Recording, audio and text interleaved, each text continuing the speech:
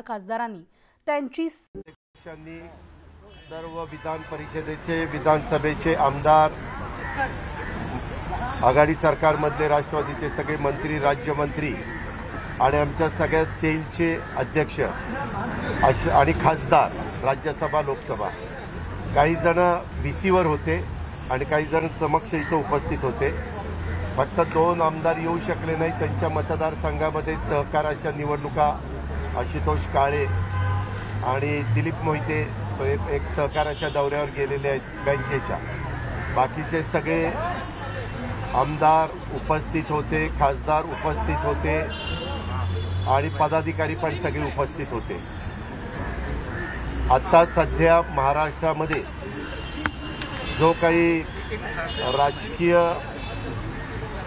परिस्थिती निर्माण झालेली आहे त्या परिस्थितीच्या संदर्भामध्ये माझ्यानंतर प्रांताध्यक्ष पण अधिक अधिकारवाणीनं सांगतील. पण महाविकास आघाडीचं सरकारमधले प्रमुख उद्धव ठाकरे साहेबांना पूर्णपणे पाठिंबा देऊन राष्ट्रवादी काँग्रेस पक्ष शेवटपर्यंत हे सरकार कसं त्या ठिकाणी टिकेल ह्याबद्दल प्रयत्न करत राहणारे प्रयत्न करणारे तशा पद्धतीनं आम्ही काम करतोय. मी तशा प्रकारे दुपारी पण मुख्यमंत्र्यांशी बोललो ते मातोश्रीवर होते. आणि आता आदित्य ठाकरेंचा पण दुसऱ्या कामाच्या करता फोन आलेला होता त्यांना पण मी सांगितलं. माझी मीडियाला इलेक्ट्रॉनिक आणि प्रिंट मीडियाला विनंती आहे की ह्याच्यापेक्षा वे दुसरं कुठलीही भूमिका राष्ट्रवादी काँग्रेस पक्षाची त्या ठिकाणी नाही आहे शिवसेनेमध्ये काही प्रश्न आमदारांच्या मध्ये निर्माण झालेले आहेत. त्याच्याबद्दल जास्त अधिकारवाणीनं शिवसेनेचे प्रवक्ते किंवा शिवसेनेचे नेते हे त्याच्या संदर्भामध्ये सांगतील. आपण ते टी व्हीच्या वेगवेगळ्या चॅनलच्या माध्यमातून दाखवताच आहात. काही आमदार परत आलेले आहेत. त्याच्यामध्ये नितीन देशमुख असतील किशोर पाटील असतील. त्यांनी वेगळी भूमिका तिथं म्हणजे काय झालं ती वा- मांडलेली आहे. परंतु इकडं आमदार आहेत ते पण पा आपल्याला चॅनलच्या माध्यमातून पाहायला मिळत आहेत त्यांना आव्हान करण्याचं काम मुख्यमंत्र्यांनी पण काल भाषणामध्ये महाराष्ट्राला उद्देशून त्यांनी भाषण केलं त्यावेळेस त्यांनी पण आव्हान केलेलं आहे. आणि आज पण त्यांच्या पक्षाच्या प्रमुखांनी आव्हान केलेलं आहे. आम्ही या परिस्थितीवर पूर्ण लक्ष ठेवून आहोत. पण आमची भूमिका पक्षाची भूमिका ही आघाडी सरकारला आघाडी सरकार टिकवण्याच्या संदर्भातली आहे तिथं आमचा एक सर्व आमदार आमच्या बरोबर आहेत. सर्व विधिमंडळाचे सदस्य बरोबर आहेत. एक आहे काही आमच्यातले मित्र पक्ष थोडंसं वेगळ्या प्रकारचे स्टेटमेंट करतायत की बाबा अजित पवारांनी त्या निधीचं असं केलं तसं केलं. मला महाराष्ट्रातल्या तमाम जनतेलाही सांगायचं आहे मीडिया आपल्यालाही सांगायचं आहे सरकार अडीच वर्षापूर्वी अस्तित्वात आलं त्यावेळेस छत्तीस पालकमंत्री हे वेगवेगळ्या जिल्ह्याचे आपण नेमतो. त्याच्यात वन थर्ड काँग्रेसचे नेमले वन थर्ड शिवसेनेचे नेमले वन थर्ड राष्ट्रवादीचे नेमले. त्यांना निधी देत असताना गेल्या अडीच वर्षात कुठेही निधीला काटछाट केली नाही. जो अर्थसंकल्पामध्ये मंजूर करण्यात आलेला होता तो आमदार निधी डोंगरी विकास निधी आणि हा निधी आपल्या पालक डीपीसीचा निधी. हा सगळ्यात दिलाय. परंतु का काय कशा पद्धतीनं त्यांनी तसं वक्तव्य केलं मला माहिती नाही. परंतु मी कधी दुजाभाव केला नाही. उलट मी सगळ्यांना विकास कामामध्ये मदत करण्याची भूमिका हीच माझी असते हे आपण पण पाहिलेलं आहे. अनेकदा मी साडेआठ नऊला ऑफिसला येऊन बसतो. आणि जेवढे काही मिटिंगच्या माध्यमातून किंवा इतर बाबतीमध्ये चर्चा करून प्रश्न सोडवता येतील तो सोडवण्याचं काम मी करत असतो. वास्तविक त्यांनी असं चॅनलला जाऊन बोलण्यापेक्षा जर आमची एकत्रपणे ज्यावेळेस अशोक चव्हाण साहेब बाळासाहेब थोरात जयंत पाटील मी एक असे आणि शिवसेनेचे काही प्रमुख आम्ही एकत्रपणे चर्चा करत असतो त्यावेळेस सांगितलं असतं तर तिथल्या तिथं समज गैरसमज दूर झाले असते.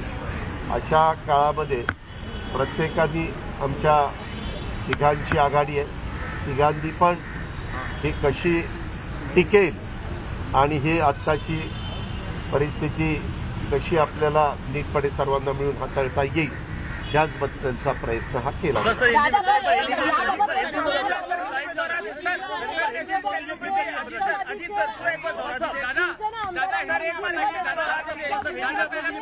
राष्ट्रवादीचे होते त्यांना निधी देण्यात आला अजित पवारांनी आम्हाला दिला सुरुवातीच्या काळामध्ये एकशे सत्तर आमदारांच्या पाठिंब्यावर हे सरकार अस्तित्वात आलं. हे अस्तित्वात आलं त्याच्यात पवार साहेबांनी पुढाकार घेतला होता. पवार साहेबांनी सांगितलं होतं उद्धव ठाकरे साहेब या पक्षाचे ह्या सरकारचे प्रमुख म्हणून राहतील. आणि त्यांच्या नेतृत्वाखाली सगळ्यांनी काम करायचं. जो मतदारसंघ ज्या पक्षाच्या वतीनं जो आमदार निवडून आलेला आहे त्यांच्या मतदारसंघामध्ये त्यांना आपण डिस्टर्ब करायचं नाही. आणि अशाच पद्धतीनं आम्ही भूमिका त्या ठिकाणी घेतलेली होती. एखाद्या ठिकाणी काही काही भागात बाबा आमदार आलाय हा एका पक्षाचा आलाय. आणि तिथली नगरपालिका मात्र दुसऱ्या पक्षाचे नगराध्यक्ष दुसऱ्या पक्षाचा आहे. तिथं थोडंसं काही घडलं असेल परंतु कटाक्षाने त्याच्यात आमदाराला कुठं त्रास होऊ नये याचबद्दलचा प्रयत्न हा करण्यात आलेला आहे. हे मी अतिशय स्पष्टपणे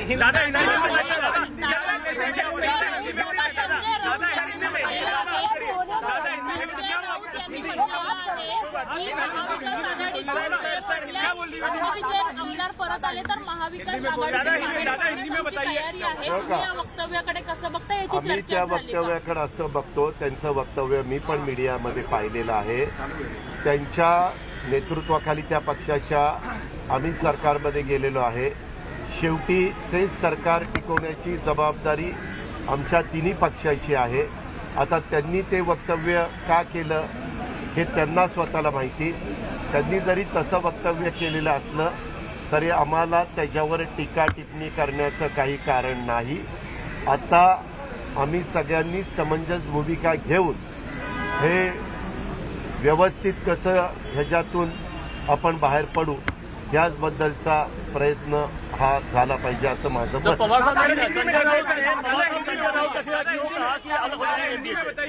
संजय राउत हो हो हैं जी ने क्या बताया? कि हम एनडीए से अलग हो सकते हैं। उन्होंने एक नाथ शिंदे के बारे में कहा कि अगर ज़रूरत है तो एनडीए से हम अलग हो जाएँगे। सरकार से नहीं। उनको वो उनका अधिकार है। पहले जो तय हुआ था कि पाँच साल के लिए ये महाविकास आघा- आघाड़ी का गवर्नमेंट टिकना चाहिए चलना चाहिए। उन्होंने तो बहुत दफ़ा कहा कि ये पाँच साल नहीं पच्चीस साल टिकने वाला है ऐसा भी स्टेटमेंट उन्होंने किया है। अभी वो जो आपने पत, सवाल पूछा वो स्टेटमेंट ज़रूर उनका हमने सुना है वो उनका अधिकार है। उन्होंने किस कारण ये स्टेटमेंट किया है उसके बारे में मुझे खुद पता नहीं। लेकिन मैं उनके वरिष्ठ नेता उद्धव ठाकरे साहब जी को पूछूँगा कि ऐसा ऐसा स्टेटमेंट आया है। आप उसके आपके मन में दूसरा कुछ है क्या? मेरे मेरे ख्याल से वैसा कुछ नहीं होगा। कभी कभी थोड़ा बहुत लोगों को वापिस बुलाने के लिए भी वो स्टेटमेंट कर सकते हैं वो लेकिन वो उनका अधिकार है। वो सबसे ज़्यादा विधायक उनके थे।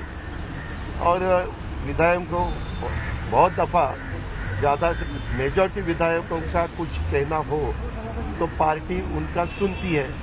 अगर उन्होंने वैसा डिसीज़न लिया तो उसके बारे में हमें कोई कमेंट्स करने की तो ज़रूरत नहीं। शिवसेना के साथ खड़े हैं, एनडीए के साथ अभी भी खड़े हैं शिवसेना के साथ अभी भी खड़े हैं आप शिवसेना के साथ।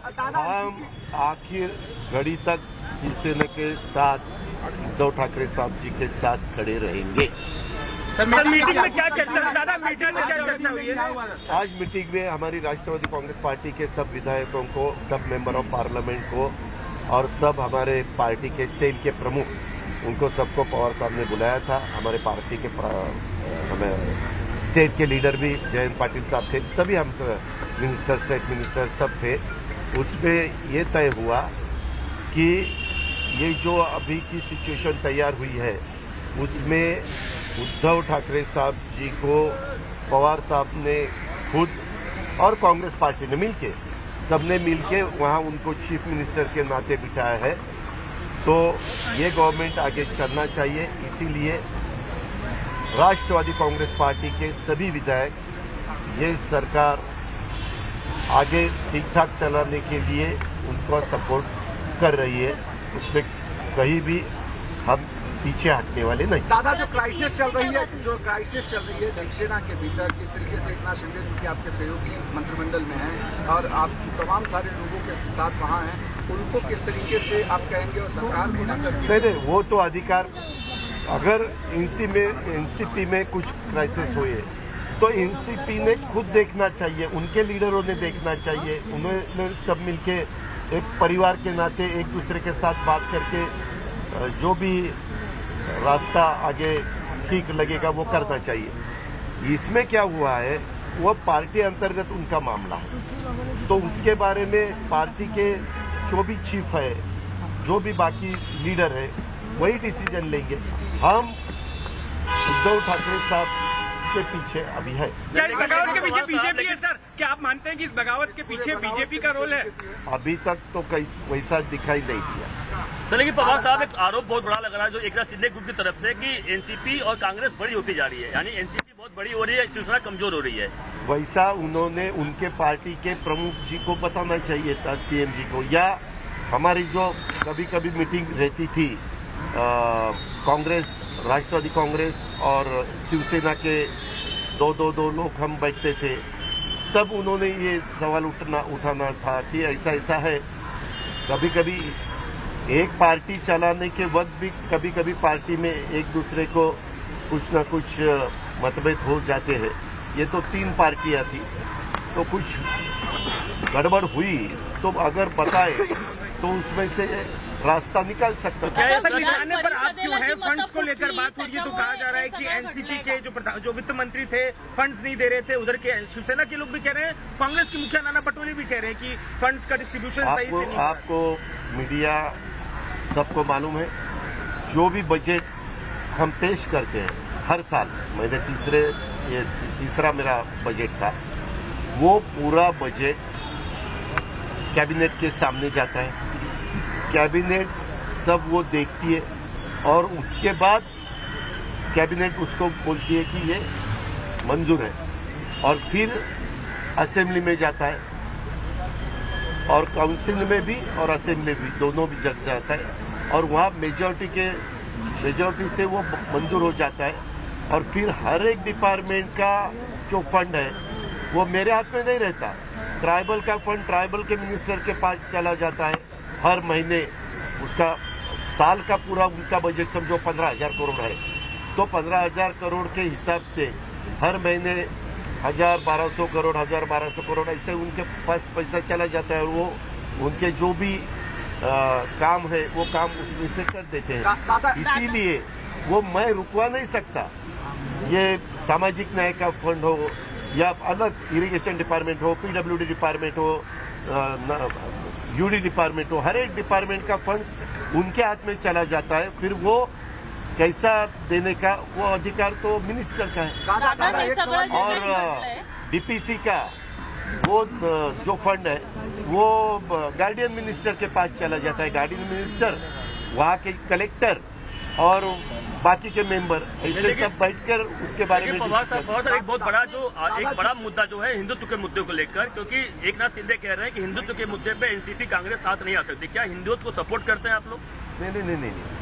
हमने जो भी ये गवर्नमेंट हमारा तैयार हुआ, उसमें क्या है, कांग्रेस और एनसीपी ये सेक्युलर का विचार करने वाले पार्टियाँ हैं। और शिवसेना का आपको पता है। लेकिन हमने ये तय किया कि जो इशू पूरे अपने स्टेट के डेवलपमेंट के हिसाब से ठीक है, उसमें ज़्यादा ध्यान देके वही इशू आगे चलाने के और ऐसा अढ़ाई साल हमने काम किया और जो भी उनको कुछ लगता था वो उनके पार्टी के प्लेटफॉर्म के ऊपर उनका स्टेटमेंट निकलता था दादा हे सगळं जे काही घडलंय दादा दादा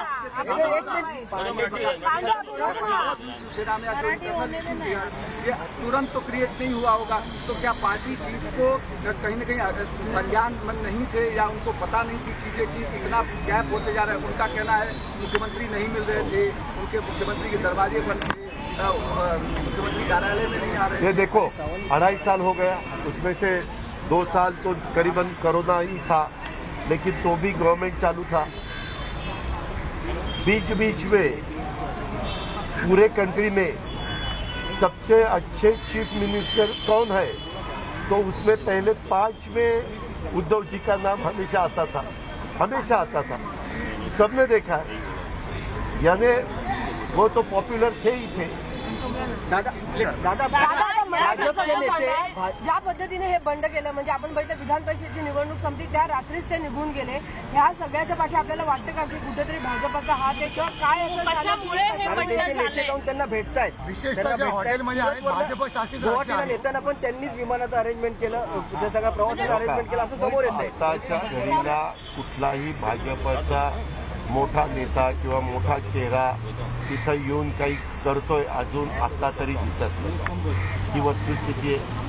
मोठा नेता मोठा नेता. मोठा. अजित पवारांची ही पत्रकार परिषद सध्या सुरू होती. आपण